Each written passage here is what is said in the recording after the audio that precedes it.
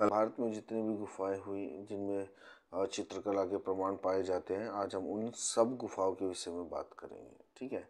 जो भी आज की वीडियो में रिकॉर्ड होगी और जो भी आज की वीडियो में हम कवर कर पाएँगे गुफाओं को, उन सभी गुफाओं के विषय में आज हम यहाँ पर चर्चा करेंगे। चलो, शुरू करते हैं अपने आज के टॉपिक को। चलिए शुरू करते हैं आज के टॉपिक को। ठीक है? तो सबसे पहले हम बात करेंगे मौर्यकालीन कला के विषय में। मौर्यकालीन कला।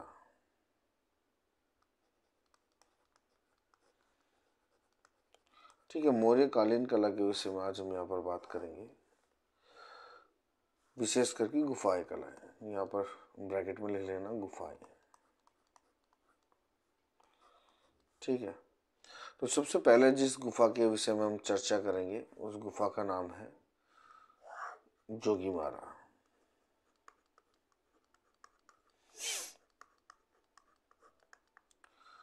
जोगीमारा गुफा के विषय में आज हम यहाँ पर बात करेंगे। देखिए, जोगी मारा जो गुफा के विषय में आज हम इसलिए बात कर रहे हैं क्योंकि इस गुफा की खोज कह लो या फिर ये जो गुफा है वो अजंता से भी पुरानी है और ये गुफाएँ मतलब सबसे पुरानी मानी जाती है जिसमें चित्रकला के हमें प्रमाण मिलते हैं। ठीक है हम आदि मानव वाली गुफाओं के विषय में बात नहीं कर रहे हैं। हम कर रहे हैं मौर्यकालीन गुफा के विषय में। तो इसलिए ये गुफा अपने समय के हिसाब से सबसे पुरानी मानी जाती है जिनमें चित्रकला का आ, हमें साक्ष्य मिलते हैं। ठीक है? तो चलिए हम इसमें आज विस्तार से बात करेंगे। अब सबसे पहले हम इसके समय के विषय में बात करते हैं, ठीक है? इसके हम समय के विषय में बात करते हैं।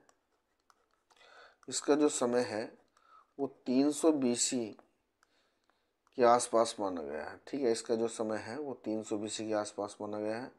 और ये किस काल की है? तो ये मौर्य काल की है। ये गुफाएँ किस काल की है? मौर्यकालीन है। उसके बाद इन्होंने इस पे ऊपर जो है, जो समय निर्धारित किया है, जिन जिन लोगों ने, वो सबने अलग अलग समय दिया है, लेकिन 300 सौ ही क्यों माना गया? तो उसके पीछे कुछ कारण है, ठीक है? कुछ कार्बन डेंटिंग पद्धति के द्वारा जो टेस्ट कराए गए थे, उससे हमें पता चलता है कि इसका जो एग्जैक्ट जो समय है, वो 300 सौ के लगभग रहा होगा। तो सबसे पहले जो जॉन मार्शल ने कहा जॉन मार्शल। जॉन मार्शल के अनुसार इसका जो समय था, वो एक हज़ार बीसी। एक हज़ार बीसी माना गया है।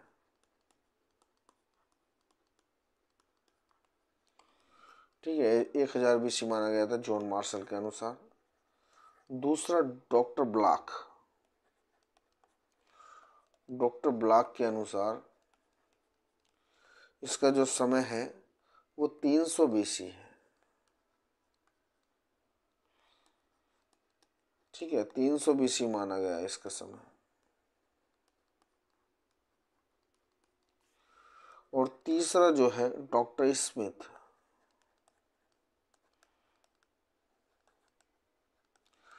डॉक्टर स्मिथ के अनुसार इसका जो समय माना गया है, वो प्रथम सदी ईसा पूर्व माना गया है। प्रथम सदी ईसा पूर्व ठीक है? बीसी का मतलब भी बिफोर क्राइस्ट होता है, ठीक है? तो ये भी ईसा पूर्व ही है। इसको मैं हिंदी में लिख देता हूँ, अगर किसी को समझ में ना आए तो। ईसा पूर्व ठीक है? क्योंकि मौर्य काल जो था, वो ईसा के पूर्व था, लगभग तीन सौ साल ईसा पूर्व के आसपास था। ठीक है? चलिए अब हम बढ़ते हैं अपने क्लास को आगे बढ़ाते हैं।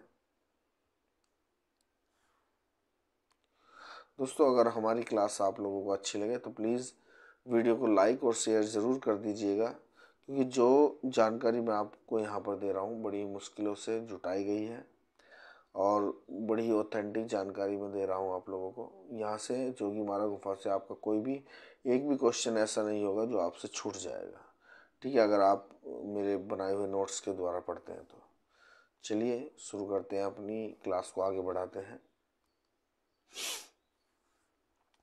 अब हम बात करते हैं इसकी स्थिति के विषय में। इसकी स्थिति क्या है? ठीक है, किस जगह है, कहाँ पर है, क्या इसकी स्थिति है, उसके विषय में आज हम यहाँ पर बात करेंगे। देखिए, सबसे पहले हम इसकी बात करते हैं कि ये वर्तमान में अभी कहाँ पर है। सबसे पहले जो इसका क्षेत्र आता था, वो आता था एमपी ठीक है एमपी यानी मध्य प्रदेश. उसके बाद जब मध्य प्रदेश का बंटवारा हुआ तो ये छत्तीसगढ़ बना.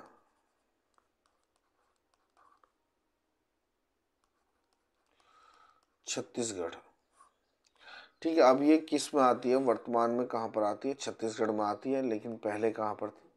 पहले एमपी में थी, पहले एमपी में थी, अब ये छत्तीसगढ़ में आती है, ठीक है? अब इसके बाद में ये तो हमने देख लिया कि पहले कहाँ पर थी, अब यहाँ पर मैं लिख देता हूँ वर्तमान। यहाँ पर लिख देता हूँ पूर्व, ठीक है? पहले एमपी में थी, अब वर्तमान समय में जो है, ये छत्तीसगढ़ में है ये गुफाएँ। अब इसके अंदर जो जिला लगता है, ठीक है? और यहाँ पर लिख देता हूँ मैं ऐसे। जिला। उसके बाद में हम बात करेंगे किस नदी के किनारे है। नदी मतलब कौन सी लगती है इसमें। उसके बाद हम बात करेंगे पहाड़ी की, कि किस पहाड़ी पर है। ठीक है? और देखिए, सबसे पहले हम ज़िले के बारे में बात करेंगे। ज़िला या रियासत भी पूछ लेते हैं कि किस रियासत के अंतर्गत है। ठीक है तो ये सरगुजा। किस रियासत के अंतर्गत है? सरगुजा। छत्तीसगढ़ की सरगुजा रियासत के अंतर्गत है और इसका जो उद्गम स्थल माना जाता है, वो नर्मदा नदी के उद्गम स्थल पर। नर्मदा नदी के उद्गम स्थल पर। सॉरी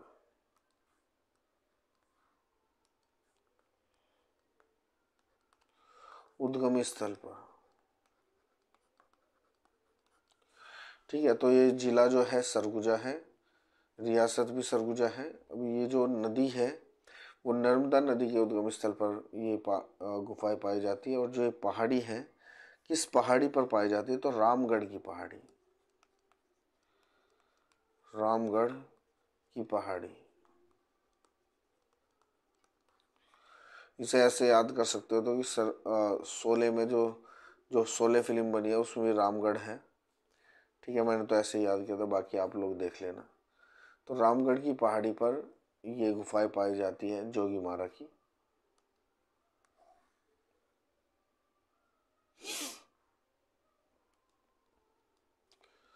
अब देखिए इसको हम आगे बढ़ाते हैं और अब देखिए यहाँ पर एक तीर्थ स्थल है। क्या है? ये एक तीर्थ स्थल है।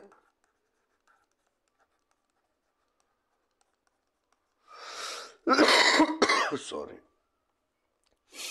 तीर्थ स्थल है। अब यहाँ पर कौन सा तीर्थ स्थल है? तो ये अमरनाथ।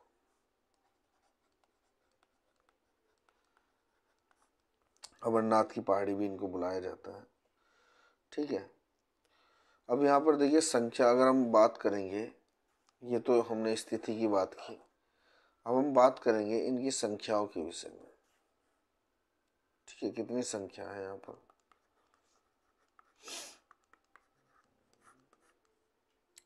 ठीक है, यहाँ पर विशेषकर जोगी मारा गुफा के पास में एक गुफा और पाई जाती है। जिसे हम सीता बोंगरा के, पहले मैं लिख देता हूँ, जोगी मारा। और इसी के पास में पाई जाती है सीता बोंगरा।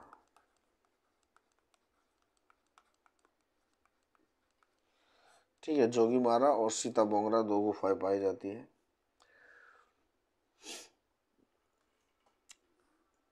यहीं पर लक्ष्मण बोंगरा।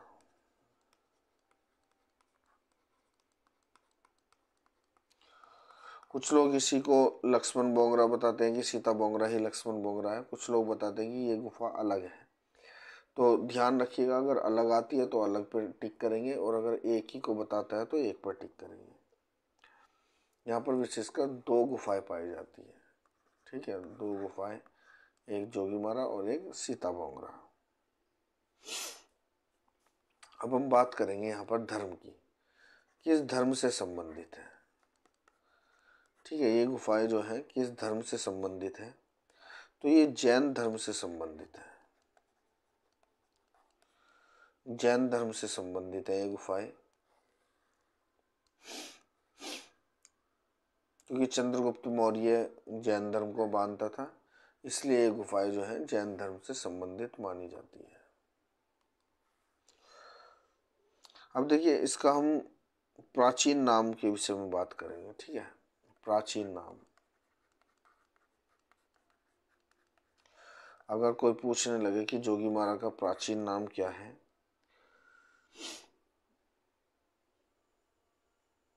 तो इसको प्राचीन नाम दसवीं शताब्दी में जो है,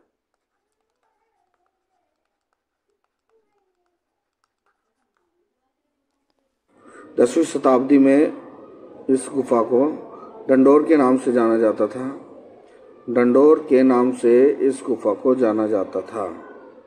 इसको जोगीमारा गुफा को। ठीक है, जोगीमारा गुफा को किस नाम से जाना जाता था दसवीं शताब्दी में? डंडोर के नाम से जाना जाता था। ठीक है मित्रों, किस नाम से? डंडोर के नाम से जाना जाता था। प्राचीन काल में दसवीं शताब्दी में इस गुफा को। ठीक है दोस्तों, समझ आया? चलिए, बढ़ते हैं हम अपने आगे के पॉइंट पर। अब देखिए, इसको किस किस नाम से और जानते थे? ठीक है, इसकी भी चर्चा हम करेंगे। अब देखिए, ये तो दसवीं शताब्दी के विषय में बात की हमने। अब हम बात करते हैं इसको, रामायण काल में इसको क्या कहते थे? ठीक है, रामायण काल में इसको क्या कहते थे? रामायण काल में इसको बोलते थे, झारखंड। ठीक है, क्या बोलते थे दोस्तों?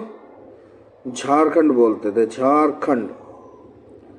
ठीक है मित्रों, झारखंड के नाम से इसको बुलाया जाता था रामायण काल में।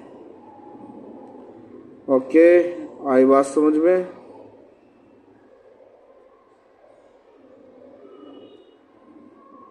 ठीक है, झारखंड के नाम से जानते, जाना जाता था इसको रामायण काल में। ठीक है? अब इसके खोजकर्ता के विषय में बात करेंगे। देखिए, खोजकर्ता का कहीं पे कोई प्रमाण नहीं मिलता है इसलिए इसका कोई भी खोजकर्ता नहीं बताया जा सकता है। क्योंकि आज तक कभी ना तो आयोग ने ही कभी पूछा है, ना किसी दूसरे आयोग में इस, ये क्वेश्चन आया कि जोगी मारा गुफा की खोज किसने की? इसलिए हम बता भी नहीं रहे हैं, क्योंकि इसके प्रमाण हमें नहीं मिलते हैं। अब ऐसे ही मैं कुछ भी बता दूँ तो वो सब नहीं चलेगा। इसलिए आप लोग भी इसके खोजकर्ता के विषय में ज़्यादा टेंशन मत लेना, क्योंकि कोई भी नहीं बता पाएगा कि इसका खोजकर्ता कौन है। ठीक है दोस्तों, चलिए। नेक्स्ट पॉइंट पर चलते हैं। और बात करते हैं हम इसके आकार के विषय में। ठीक है, इसके आकार के विषय में बात करते हैं हम। देखिए, इसकी जो लंबाई है, इसकी जो लंबाई है, वह दस फीट है। ठीक है, लंबाई क्या है? दस फीट है। तो लंबाई इसकी है दस फीट और हम बात करेंगे इसकी चौड़ाई के विषय में। तो इसकी जो चौड़ाई है, वह है छः फीट ठीक है, चौड़ाई है छः फीट और इसकी जो ऊंचाई है, ऊंचाई भी इसकी कितनी है? छः फीट ही है। ठीक है तो लंबाई, चौड़ाई और ऊंचाई के विषय में हमने बात की। लंबाई दस फीट चौड़ाई छः फीट और ऊंचाई भी छः फीट है इस गुफा की, जिसके कारण से इसको लेट कर देखना पड़ता है जोगी मारा गुफा को। ठीक है? क्योंकि उसकी ऊंचाई ज़्यादा ऊँची नहीं है। अब धर्म के विषय में बात करें हम तो जो ये मतलब जो गुफा है जोगी मारा की गुफा, किस धर्म से संबंधित है तो ये बेसिकली जैन धर्म से संबंधित है, लेकिन इसके मत पर कुछ विचारों पर कुछ मतभेद हैं। ठीक है कि ये किस धर्म से संबंधित है, इसके बारे में कई विद्वानों ने अलग अलग मत दिए हैं। सबसे हम पहले बात करेंगे डॉक्टर ब्लाक के विषय में। ठीक है तो कई लोग हैं जिन्होंने इस पर अलग अलग मत दिए हैं अपने। चलिए पेज को हम थोड़ा सा ऊपर कर लेते हैं पहले। फिर मैं आप लोगों को बताऊँगा कि कौन कौन है किस किस ने इसके ऊपर अपने मत दिए हैं धर्म के ऊपर। ठीक है चलिए, शुरू करते हैं। अब देखिए, बात करेंगे हम सबसे पहले डॉक्टर ब्लॉक के विषय में। किसके विषय में? Doctor block.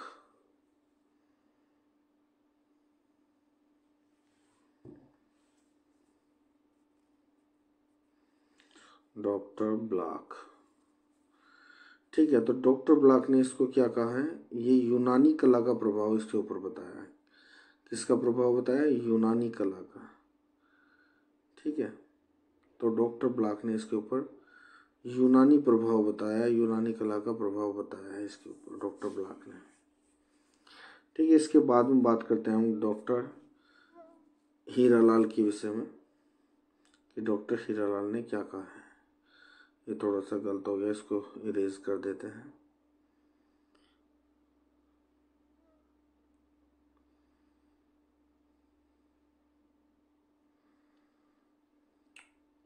चलिए डॉक्टर हीरा लाल ठीक है तो डॉक्टर हीरा लाल ने क्या कहा है? डॉक्टर हीरा लाल ने इसको बौद्ध कला, बौद्ध धर्म से संबंधित माना है। इससे संबंधित माना है? बौद्ध धर्म से। डॉक्टर हीरा लाल ने इसको बौद्ध धर्म से संबंधित माना है। ठीक है, बौद्ध धर्म से संबंधित माना है किसने? डॉक्टर हीरा लाल ने। अब हम बात करते हैं राय कृष्णदास के विषय में। ठीक है तो डॉक्टर राय कृष्णदास ने क्या कहा है? देखिए, डॉक्टर राय कृष्णदास ने कहा है इसको जैन कला ठीक है, अब इसके पीछे क्या कारण रहा है? क्योंकि ये 300 बीसी में बनी थी, ये गुफा, और उस टाइम पर काल किसका था? मौर्य साम्राज्य का। क्योंकि चंद्रगुप्त मौर्य जो थे, वो जैन धर्म से संबंधित थे। इसीलिए डॉक्टर रायकृष्ण दास ने यह अनुमान लगाया कि यह जो कला है, वो जैन धर्म से संबंधित है। ठीक है किस धर्म से संबंधित है? जैन धर्म से। और यही मत जो है सर्वमान्य हुआ बाद में चलकर। जब इस पर और भी रिसर्च हुई तो पता चला कि ये जो कला है, वो जैन धर्म से संबंधित है। ठीक है, अब देखिए असित कुमार हलदार और क्षेमेंद्र नाथ गुप्त, जिन्होंने इसकी 1914 में प्रतिलिपियाँ तैयार की। अब असित कुमार हलदार क्या बोलते हैं? असित कुमार हलदार बोलते हैं कि इस पर प्राचीन काल में जो है, रामगढ़ में जो देवदासियाँ रहा करती थी, उनका प्रभाव इस कला पर देखा जा सकता है। या यूँ कहे कि जो प्राचीन काल में रामगढ़ में जो देवदासियाँ रहती थी, उन्हीं के द्वारा इन चित्रों का निर्माण हुआ और उन्हीं का प्रभाव इन चित्रों पर देखा गया है। असित कुमार हलदार के बारे में ये कथन है मतलब असित कुमार हलदार ने ऐसा कहा है। ठीक है? तो इस पर प्राचीन काल में जो देवदासी रहा करती थी, उनका प्रभाव इन गुफाओं में देखा जा सकता है।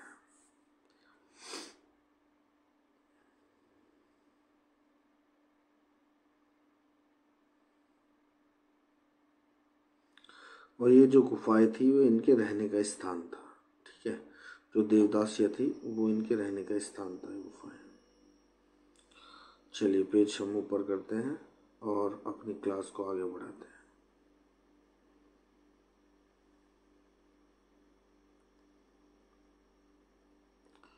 पेज ऊपर करते हैं और अपनी क्लास को हम आगे बढ़ाते हैं।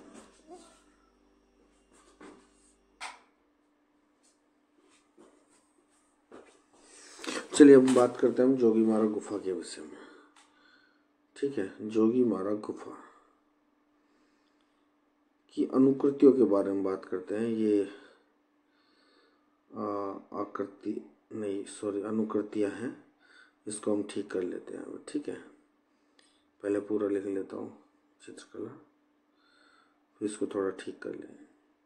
ठीक है तो जोगी महाराज की अनुकृतियों के विषय में बात कर रहे हैं। या आकृतियाँ गलत लिखा गया है। ठीक है? इसको ठीक कर लेते हैं थोड़ा।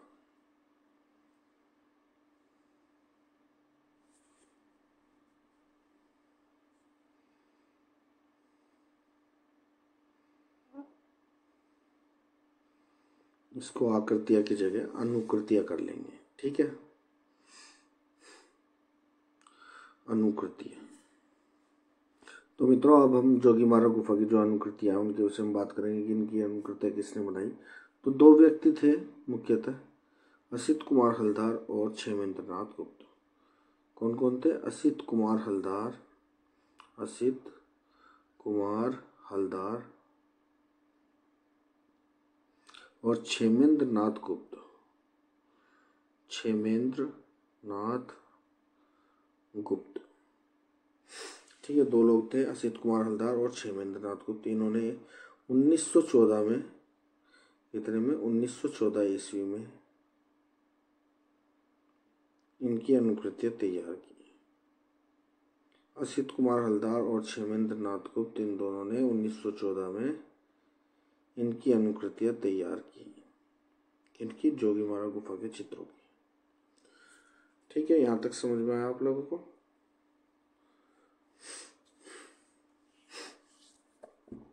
ठीक है, चलिए क्लास को आगे बढ़ाते हैं और अपने नेक्स्ट पॉइंट की ओर चलते हैं। लेकिन उससे पहले अगर आपने हमारा चैनल सब्सक्राइब नहीं किया तो प्लीज़ सब्सक्राइब कर लें। और अगर वीडियो अच्छी लगती तो प्लीज़ लाइक ज़रूर करें। चलिए, अब देखिए हलदार ने क्या कहा। हलदार ने इन चित्रों को जो है सात भागों में बांटा है।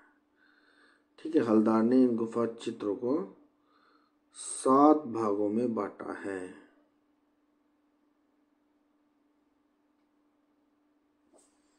ठीक है, या यूँ कह सकते हैं कि हल्दार ने इन गुफाओं में पाए गए चित्रों को सात चित्र माना है।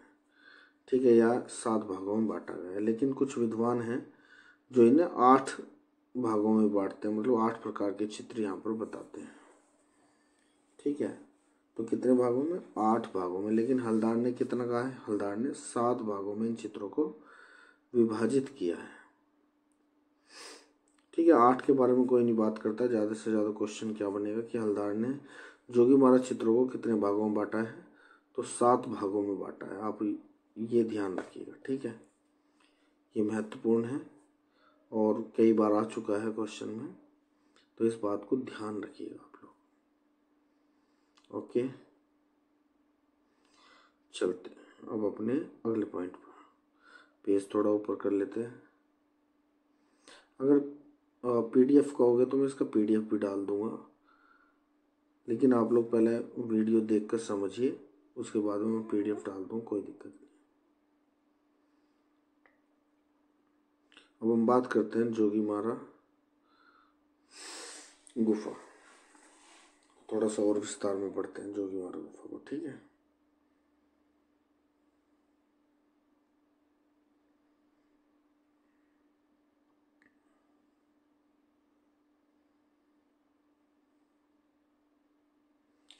थोड़ा पानी पी लेता हूँ मैं। उसके बाद में बताते हैं। अब देखिए, यहाँ पर कुछ नोट लिखिएगा, ठीक है, जो मैं यहाँ पर लिखवाऊँ, आप लोग उसको लिख लीजिएगा।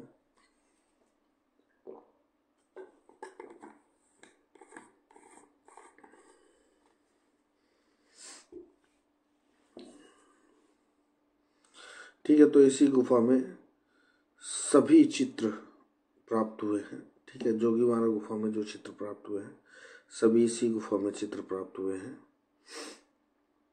ठीक है? इसी के पास में गुफा और भी थी, सीता बोंगरा, या लक्ष्मण बोंगरा भी उसको कहा जाता है। ठीक है? तो ये दो गुफाएँ थी, लेकिन सबसे ज़्यादा जो चित्र मिले हैं, वो जोगी मारा में मिला है। और इसमें जो मुख्य चित्र थे, वो कुमुदनी के फूल पर नृत्य करता हुआ युगल है। कुमुदनी के फूल पर नृत्य करता हुआ युगल ठीक है, इसका मुख्य चित्र है।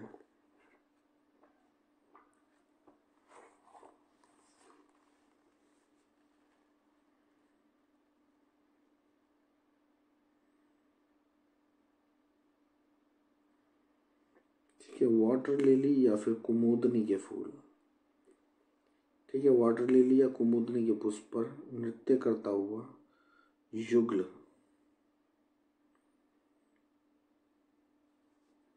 ठीक है, वैसे तो और भी चित्र है, लेकिन सबसे ज़्यादा यही चित्र पूछा जाता है, इसलिए इसी के बारे में बता रहा हूँ।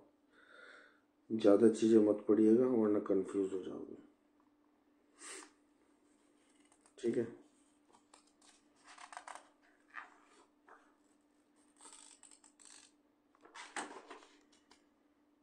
ठीक है मित्रों। अब देखिए यहाँ पर एक गज ग्रह था गज ग्रह ठीक है, क्या था?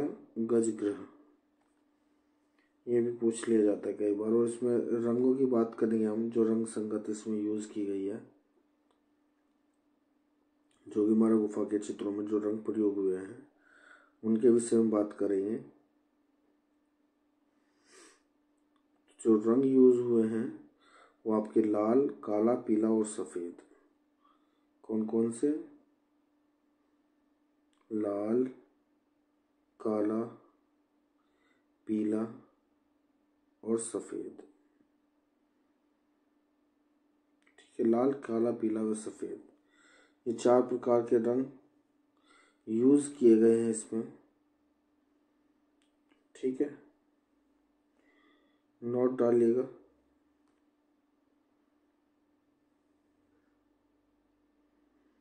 अब देखिए इसकी पृष्ठभूमि के विषय में बात करते हैं हम लोग।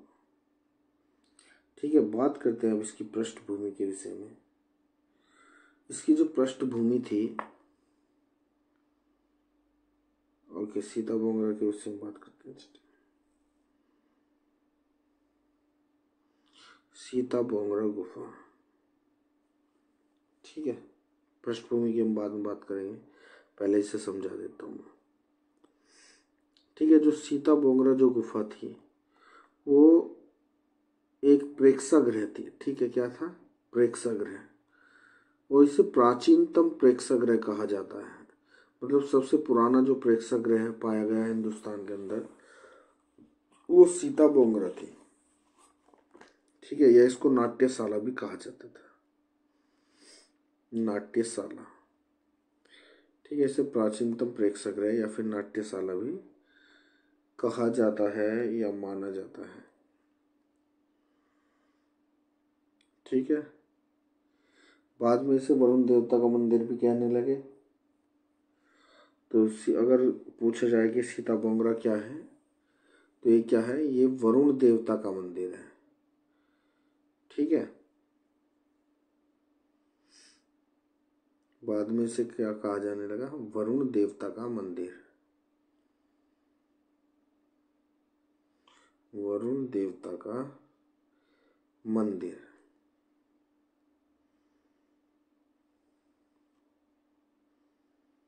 ठीक है, इसे वरुण देवता का मंदिर भी माना जाना, माना गया। तीसरा पॉइंट है हमारा कि जो सीता बोगरा की जो गुफा है, उसमें जो चित्र बने हैं, जोगी सॉरी जोगी मारा की जो गुफा है, उसमें जो चित्र बने हैं, उन चित्रों को एक सुतनु का नामक देवदासी ने बनाया था। जो कि देवदीन नामक एक व्यक्ति के प्रेम से सम, मतलब प्रेम करती थी उससे संबंधित चित्र बनाए हैं।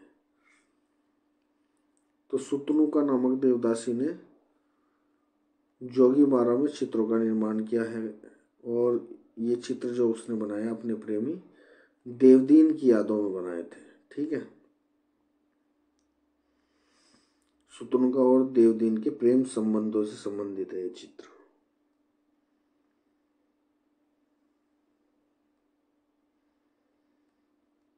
ठीक है दोस्तों। यहाँ तक समझ में आया आप लोगों को? चलिए, आगे बढ़ते हैं। ये तीन पॉइंट है, ज़्यादा मैं इसलिए नहीं लिखवा रहा, क्योंकि जो मैन मैन चीज़ें बस वो पढ़ो। बाकी इधर उधर की जो बातें हैं, वो आएँगी ही नहीं पेपर में। तो इसलिए मैं आप लोगों को लिखवा भी नहीं रहा हूँ। इससे आपको भी समय बचेगा और मेरा भी समय बचेगा। ठीक है, जो मैन मैन पॉइंट है बस वो याद करो, वही पढ़ो ऑथेंटिक पढ़ो, थोड़ा पढ़ो। ज़्यादा पढ़ने से अच्छा है कि थोड़ा पढ़े अच्छा पढ़े। ठीक है, चलिए पेज ऊपर करते हैं और अपने नेक्स्ट पॉइंट की ओर चलते हैं।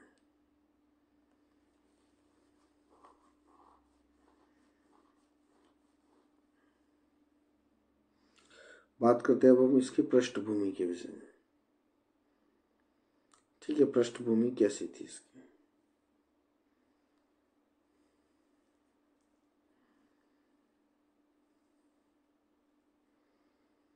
ठीक है, इसकी पृष्ठभूमि कैसी थी, उसके विषय में हम बात करेंगे। जोगी महाराज की जो पृष्ठभूमि थी, थोड़ा गलत हो गया, दोबारा लिख देते हैं। यहाँ पर लिख देते थोड़ा सा। पृष्ठभूमि। ठीक है। जोगी महाराज, गुफा में जो चित्र बनाए गए हैं, उनकी जो पृष्ठभूमि है, उनकी पृष्ठभूमि में सफ़ेद रंग का इस्तेमाल किया गया है। कैसा? सफ़ेद रंग का इस्तेमाल किया गया है। पृष्ठभूमि में बहुत बार पूछा गया है कि जोगी मारा की जो गुफा है, उसकी पृष्ठभूमि कैसी है? तो सफ़ेद है। अब देखिए, हास्यों के विषय में बात करेंगे हम। इसके जो हास्य हैं, वो पीले रंग के बनाए गए हैं। कैसे रंग के बनाए गए? पीले रंग के बनाए गए हास्य ठीक है, और जो इसकी सीमा रेखा है, जो चित्र बनाए गए हैं, चित्र बना, जो चित्र बने हैं, उनकी जो सीमा रेखा जो आउटलाइन है, ठीक है, सीमा रेखा। जो आउटलाइंस है, वो लाल रंग से बनाए गए गहरे लाल रंग से, ठीक है? कैसे लाल रंग से? गहरे लाल रंग से। तो आप लाल रंग यू याद रखिएगा। एग्ज़ाम में लाल रंग आएगा कि इसकी जो बाहरी आउटलाइन है, वो किस रंग से बनाई गई है? तो लाल रंग से बनाई गई है। या फिर गहरे लाल रंग से बनाई गई है। ठीक है? पृष्ठभूमि सफ़ेद, हास्य पीले और सीमा रेखा लाल रंग से बनाई गई। ये पॉइंट याद रखिएगा आप लोग।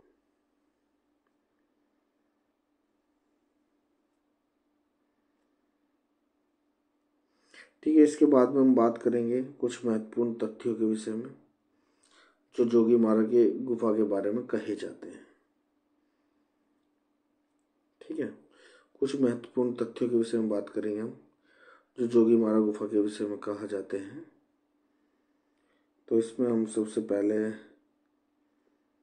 सबसे पहले बात करेंगे हम इस पर जो हमारा सबसे पहला पॉइंट है, वो यह है कि भित्ति चित्रण की जो कला है वो भारत में जोगी मारा गुफा से प्रारंभ होती है। ठीक है? तो पहले हम हेडिंग हेडिंग डालेंगे कुछ महत्वपूर्ण तथ्य ठीक है, जोगी मारा गुफा के विषय में कुछ महत्वपूर्ण तथ्य हैं। हेडिंग डाल लेंगे। उसके बाद लिखना शुरू करेंगे। पहला पॉइंट रहेगा हमारा भित्ति चित्रण की कला भारत में जोगी मारा गुफा से प्रारंभ होती है। ठीक है, कलर चेंज कर लेता हूँ। भित्ति चित्रों की शुरुआत, या यूँ कहें कि भित्ति चित्रण की कला भारत में जोगी मारा गुफा से प्रारंभ होती है।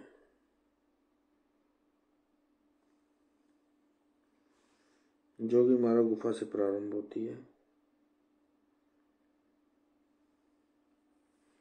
ठीक है तो ये अजंता से भी पुरानी गुफाएँ हैं जहाँ पर हमें चित्र प्राप्त होते हैं। वैसे तो चित्र हमें जो है आदि मानव की गुफाओं से भी प्राप्त होते हैं, लेकिन लेकिन उन चित्रों को हम आदिम कला के नाम से जानते हैं और ये जो चित्र हैं, ये गुफा चित्रों के नाम से हम जानते हैं। ठीक है, चलिए चलते हैं दूसरे पॉइंट की तरफ़। इन भित्ति चित्रों में पशु पक्षी, स्त्री पुरुष, मकान, तालाब, पुष्प आदि का अंकन हमें यहाँ पर दिखाई देता है। ठीक है? तो इन भित्ति चित्रों में पशु पक्षी, पुष्प पक्षी, स्त्री पुरुष,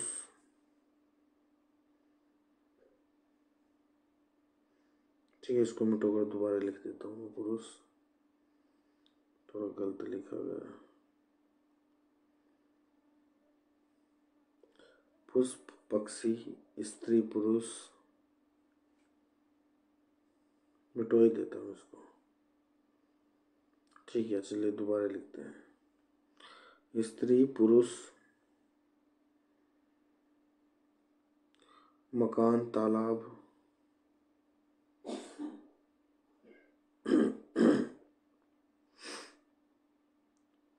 मकान, तालाब,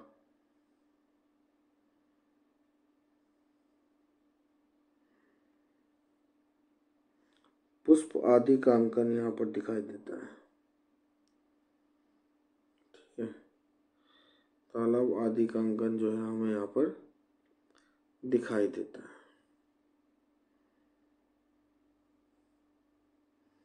आदि का अंकन या चित्रण हमें यहाँ पर दिखाई देता है। तीसरा पॉइंट है हमारा। जोगी मारा के जो गुफा के जो चित्र हैं, वो सांची और बहुत जो है, सांची और बहुत के स्तूप पर जो आकृतियाँ उकेरी गई हैं, उनसे मिलते जुलते हैं। ठीक है तो जोगी मारा गुफा के जो चित्र हैं, सांची और भरूत के स्तूपों के जोगी मारा गुफा के चित्र सांची और भरूत है, भरूत के स्तूपों के भरूत के स्तूपों के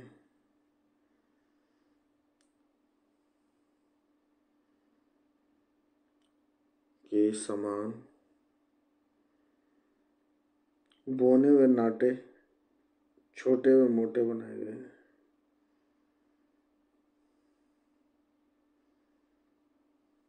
ठीक है। तो जोगी मार्ग के जो गुफा चित्र हैं, वो किससे मिलते जुलते हैं? किस पर, वो मतलब किसका प्रभाव इन चित्रों पर पड़ा है? तो सांची और भरूत के जो स्तूप हैं, उनके ऊपर जो आकृतियाँ उकेरी गई हैं, उनका प्रभाव जोगी मार्ग गुफा के चित्रों पर पड़ता है, क्योंकि वे उसी के समान बोने, नाटे और मोटे आकार के बनाए गए हैं। ठीक है? बोने, नाटे, छोटे और मोटे। आकृतियों के चित्र बने हैं, जिस कारण से हम कह सकते हैं कि जोगीमारा गुफा के चित्रों पर बरहुत और सांची के स्तूपों की कला का प्रभाव पड़ा है। ठीक है जी? अब हमारा चौथा पॉइंट है और बहुत महत्वपूर्ण पॉइंट है। बहुत बार एग्ज़ाम में पूछा गया है मोस्ट इम्पोर्टेंट है। तो आप नोट कर लीजिएगा इसको। जोगी मारा की जो गुफा है, उसकी जो अवधि है, वो अजंता की गुफा से पहले की है। ठीक है? जोगी महाराज की जो गुफा है, उसकी जो अवधि है, अजंता की गुफा से पहले की है।